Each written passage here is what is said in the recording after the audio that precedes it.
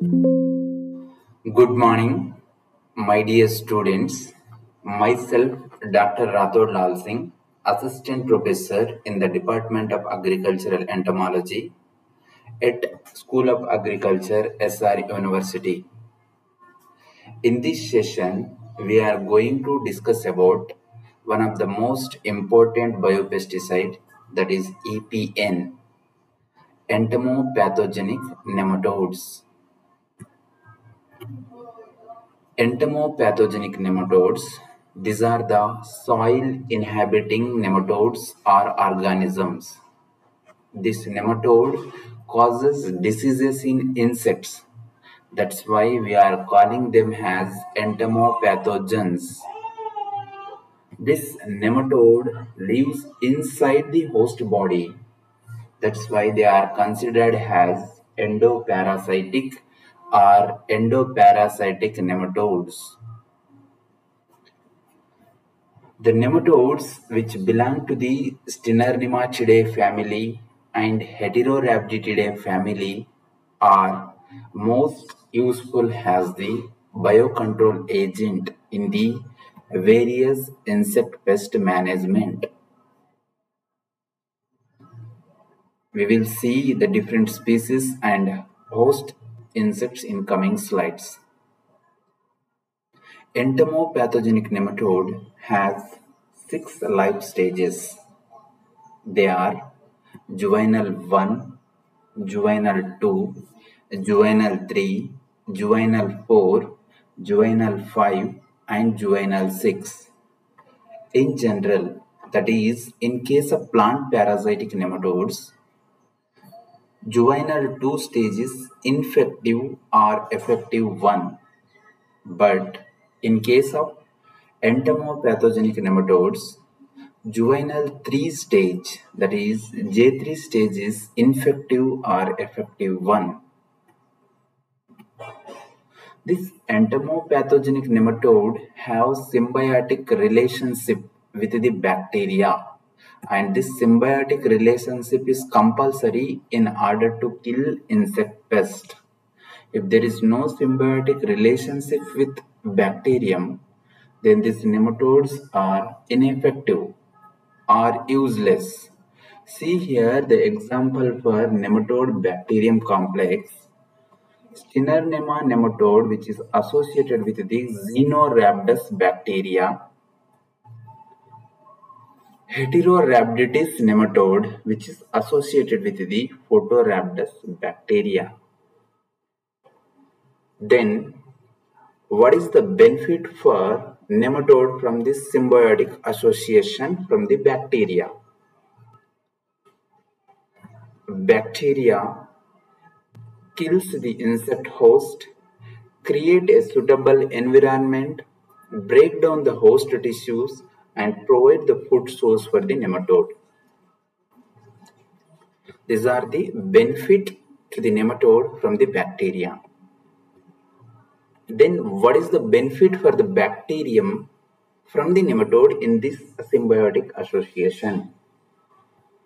This nematode helps the bacteria in the penetration of this bacteria into the host hemocoel and this nematode protect the bacteria from the external environment as well as from the host antibacterial proteins. Otherwise, this antibacterial protein neutralize that bacteria. Like that, in this symbiotic association, bacterium is benefited from nematode and nematode is benefited from the bacteria. See here the scientific classification of Steinernema nematode. It is belong to the kingdom Animalia, phylum Nematoda, class Chromadorea, order Rhabditida, family Steinernematidae, genus Steinernema. See the various species under Steinernema nematode and their host. Steinernema carpocapsae. Steinernema carpocapsae, it is effective against corn earworm that is Helicoverpa zea, fall armyworm, codling moth, European corn borer, and various beetles and other soil-dwelling insects. Next species is Steinernema feltiae, which is effective against fungus gnat, a root weevil, cutworms, carrot weevils, and various soil-dwelling pests.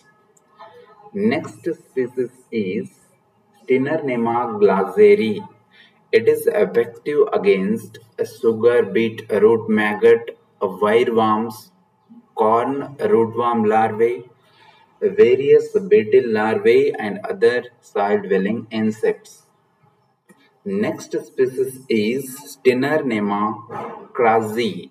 It is effective against weevils, fungus gnat, and various soil-dwelling insect pests. Next species is Steinernema longicaudum, which is effective against wireworm, beetle larvae, and various soil-dwelling insects. Next, series scientific classification of Heterorhabditis nematode.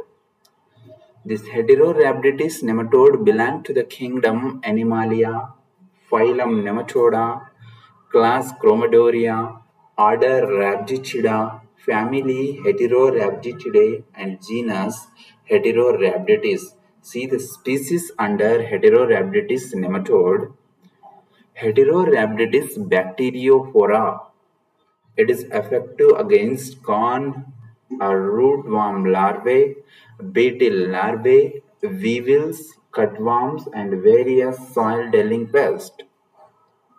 Heterorhabditis indica, it is effective against sugarcane borer, root weevils, fungus gnats, various soil-dwelling insects.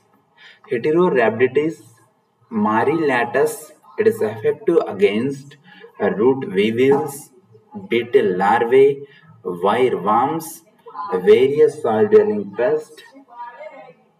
Next, Heterorhabditis downesii. Downsea. Heterorhabditis downsea. It is effective against beetle larvae, cutworms, various soil-dwelling insects. Heterorhabditis safricana. It is effective against root weevils, various beetle larvae, and soil-dwelling insects. Next, we are going to see about mode of action of entomopathogenic nematode in brief. This entomopathogenic nematode actively forays and seek the host in the soil. Once it get or once it find its host, it penetrate into it through the natural openings such as anus, mouth, spiracles, or any other sharp part of the body and cause infection by releasing bacteria. Inside this host, the bacterial pathogen release toxins and other toxic enzyme that cause pathogenesis that cause diseases in the host insect and eventually kills them. On this dead and decaying host the nematode feed grows reproduce and produce progeny and this progeny will disperse for attack to the next new host. See here in detail the mode of action of entomopathogenic nematodes, foraging and host seeking. Entomopathogenic nematodes actively search for the insect host in the soil. They are attracted to the chemical signals such as carbon dioxide and other compound emitted by their target host. These chemicals guides these nematodes towards their potential host. Next step in the mode of action is the penetration and infection. Upon locating a host, entomopathogenic nematode enter into the insect body or host body through the natural openings like mouth, spiracles, or soft areas of the cuticle. Once inside, they release symbiotic bacteria, either Xenorhabdus or Photorhabdus. It's depend on the nematode species. Bacterial pathogenesis. The bacteria inside the host develop and multiply rapidly, secrete toxic enzymes and toxic material that break down the host tissues and suppress host immune system leading to the death of the host.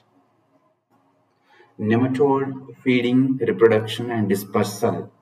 Entomopathogenic nematodes feed on both the bacteria and the decaying host tissues. It feeds on the bacteria to carry its infectious nature, infectious nature to attack the next host. And decaying host tissue, it feeds for its development and reproduction. As these nematode consume these sources, they grow and reproduce the nematode produce new infective juveniles which exit the dead host and search for the new targets. Different formulation of entomopathogenic nematodes. Entomopathogenic nematode available in granular form, liquid suspension, wettable powder form, pellet form and capsule form. In granular form, Entomopathogenic nematode is mixed with a granular carrier materials. In liquid suspension, entomopathogenic nematode suspended in water or any other liquids. In wettable powder form, EPNs formulated as a powder. It's to be mixed with the water. In pellet form, EPNs are produced in pellet or crumble form. In capsulated form, EPNs are developed into a capsule that is biodegradable capsule for slow release of the nematodes. Granular form is applied as are applied for soil dwelling pest. Liquid suspension it is suitable for soil and foliar application a wettable powder also suitable for soil and foliar application. Pellet form it is also useful for plant and soil application. Encapsulated form also useful for plant that is whole application and soil application. See here the typical dose it is ranges from 1 to 5 billion nematode per acre and it will be vary with nematode to nematode species and their age and stage. See here commercial formulation given here. Not not grub stake high horticultural Scanmask Nemasealed nemasys and their doses for hectare is given. That is 25 million infective juveniles can be cover a 1 to 2 hectare or we have to mix in 200 to 500 liter of water to spray 1 hectare area. See here one experimental example is given for the management of root grub in areca nut. For management of root grub in areca nut, we have to apply Steinernema carpocapsae in a liquid suspension at a rate of 1.5 billion infective juveniles per hectare.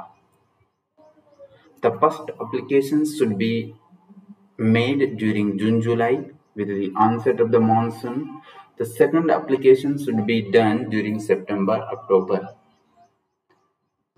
Along with the application of this entomopathogenic nematode, apply imidacloprid. Imidacloprid 17.8 SL at 0.5 ml per 2 liter of water per farm. It acts as synergistic with the entomopathogenic nematode and enhances the control of root grubs. One important noting point